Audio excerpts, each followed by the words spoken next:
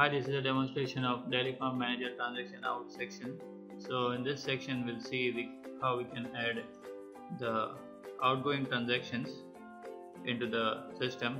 So in this module we can first select uh, whether we are selling something to the dealer or a customer.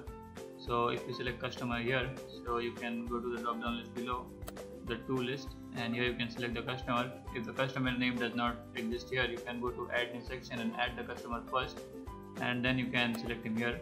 Similarly in the dealer you can select the dealer icon and then you can select the dealer name from here.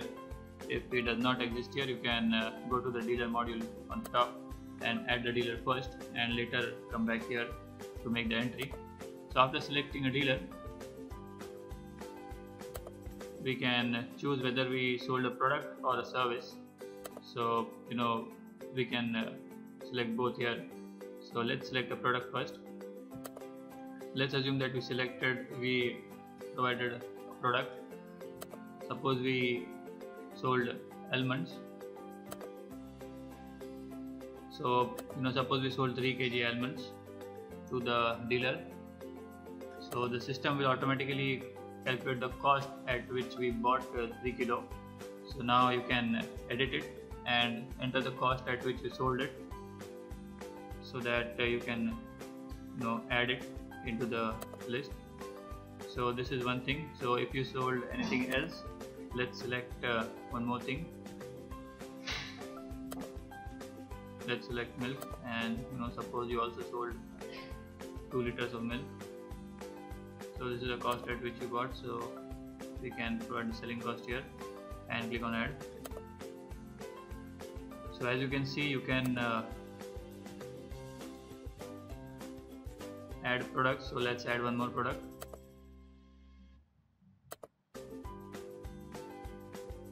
We sold uh, two more kgs of almonds and we click on add.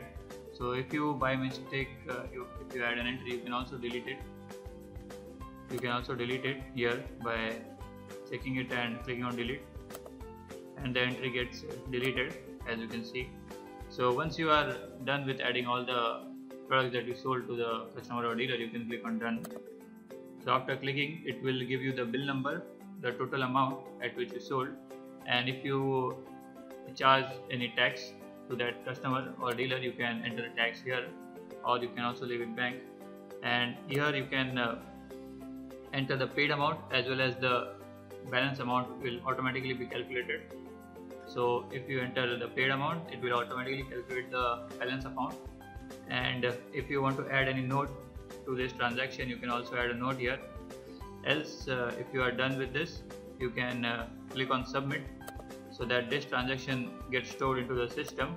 So you know whenever you pay the whenever the customer or the dealer pays the remaining amount you can uh, also uh, anytime check the balance amount that dealer or customer has to pay you in through this system.